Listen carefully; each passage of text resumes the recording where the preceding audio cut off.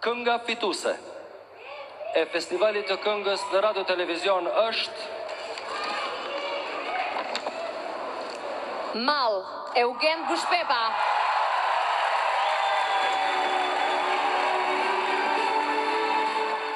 Ka përfunduar festivali i pesëdhjetë e gjashtë i Radio Televizionit Shqiptar, i cili përgjatë tre netëve përcolli te publiku emocione dhe surpriza të shumta. Mall, titullohet kënga e kantautorit të mirënjohur Eugen Bushpepa, e cila ka triumfuar në festivalin e pesëdhjetë e gjashtë të fundvitit në RTSH mes katërmbëdhjetë konkurrentëve finalistë. Kjo këngë do të jetë edhe përfaqësuesja e Shqipërisë në Eurovision i cili këtë vit do të zhvillohet në Portugali.